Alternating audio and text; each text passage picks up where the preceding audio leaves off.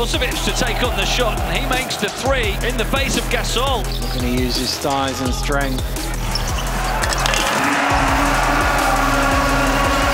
And the big man hits a big shot. Leon Radosevic from deep.